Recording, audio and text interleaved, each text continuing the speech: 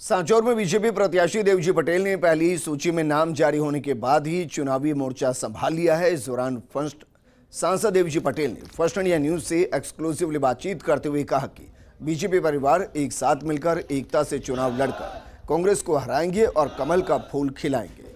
वहीं पूर्व विधायक जीवाराम चौधरी और पूर्व प्रत्याशी दानाराम चौधरी की भी नाराज़गी की बातचीत कर उसे दूर किया जाएगा और सभी एक जाजम पर बैठेंगे।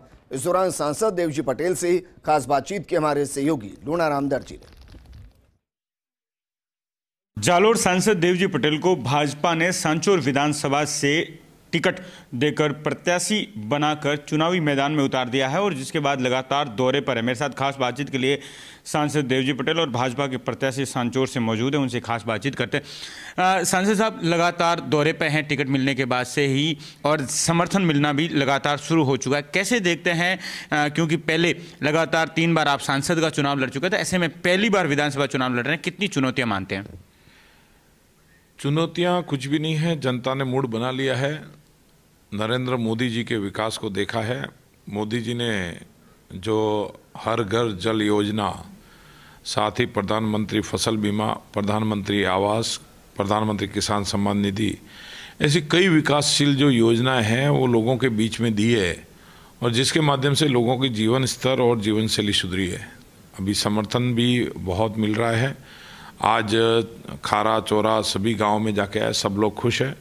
और उन सबने कहा है कि अब की बार हम पार्टी को जिताएँगे और पार्टी के जो प्रत्याशी है वो कमल के फूल को भारी बहुमत से हम राजस्थान की विधानसभा में भेजेंगे।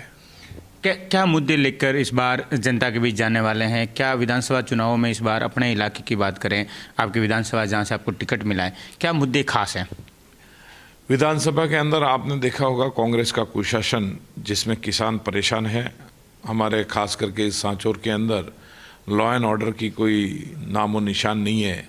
चोरों पे अंकुश लगे, व्यापारी खुशहाल रहे, व्यापारी अपना व्यापार आराम से कर सके, इन सारी बातों को लेकर हम जनता के बीच में सांचौर विधानसभा में भाजपा से पूर्व विधायक जीवाराम चौधरी और दानाराम चौधरी, दोनों टिकट की दावेदारी कर रहे थे, दोनों की टिकट कट गई जिससे दोनों नाराज़ भी बताए जा रहे हैं। क्या कुछ कोई बातचीत आपकी हुई? और दूसरा जो टिकट को लेकर दो कन्फ्यूज़न सोशल मीडिया पर लगातार वायरल हो रहे हैं कि सांसद साहब ने टिकट मांगी नहीं थी, पार्टी की ओर से दी गई है और दावेदारी वो दोनों नेता कर रहे थे। क्या कुछ सच्चाई क्या है?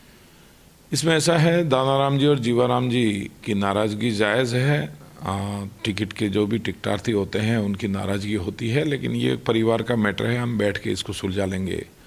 रही बात टिकट की तो हमारे भारतीय जनता पार्टी में एक सिस्टम है, सर्वोच्च नेतृत्व तो हमारा वो ही नक्की करता है कि किसे कहाँ से लड़ाना है। और मुझे पूर्ण विश्वास है, भाई दानाराम जी और सम्मान्य जीवाराम जी और हम सब साथ में मिलके ये चुनाव लड़ेंगे। आ, कल जिस तरीके से आपके काफिले के वाहनों के शीशे तोड़े गए जो हमले की घटना हुई उसके बाद में रात को बताया जा रहा है कि आपके पास दो बार कोई कॉल आया जिसने धमकी भी दी है जान से मारने की।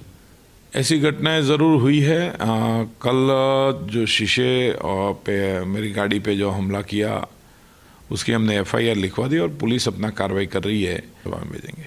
तो ये हैं भाजपा के प्रत्याशी सांसद देवजी पटेल, जिन्होंने साफ़ तौर पर कहा कि मोदी जी के विकास मॉडल को राजस्थान में लोग लाने को लेकर तैयार हो चुके हैं और ऐसे में इस विधानसभा चुनाव में राजस्थान में भाजपा की सरकार बनेगी। Lunaram, first India news, Jalore.